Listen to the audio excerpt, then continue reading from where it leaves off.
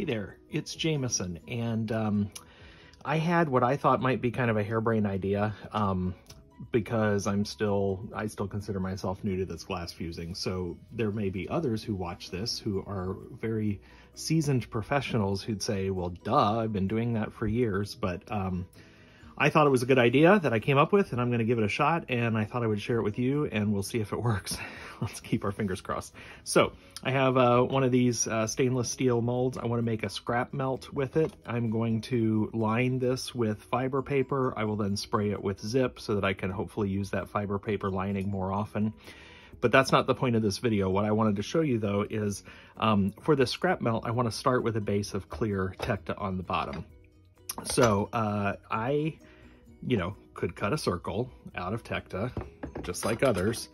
But if you're like me, I've got so much scrap. I've got so much of this Tekta scrap. And so I, and because it's gonna be the bottom of a scrap melt, I didn't really care about the appearance and having potentially seams in the bottom. So I've decided that I can try to cut a circle out of what is four strips of glass. I also have this uh, Morton system board and there are lots of um, tools I bought beetle bits, but uh, it also comes with cutter's mate or you can buy them individually, but there are these little stops and stuff that you can use.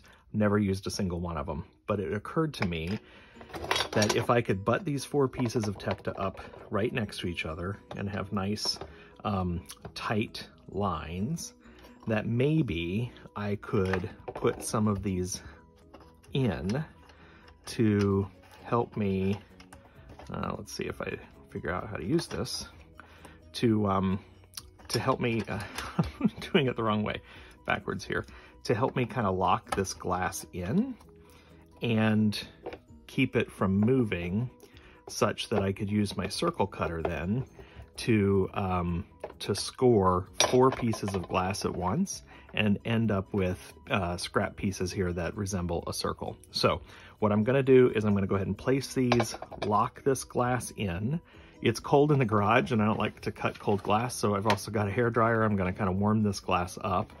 Then I'm going to place my circle cutter, try to get a nice score, and then break these pieces out. And let's see if I can get a circle out of four rectangular pieces of scrap.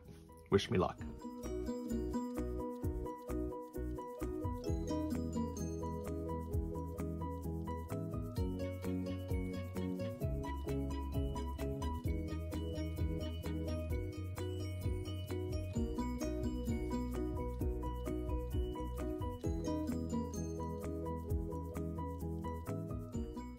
Okay, there you go. I had a little issue with the cutting head that I had to address in the middle, and I also realized that part of the flaw of my design was that I had four pieces of glass and there was a seam down the middle, and therefore this would not um, stick, of course, to the theme because or seam because it was letting air through.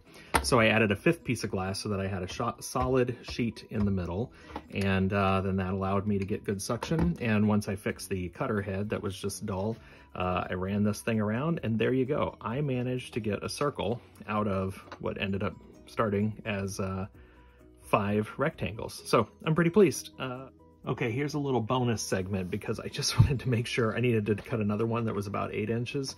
And uh, I thought that first one that I filmed, was that just dumb luck?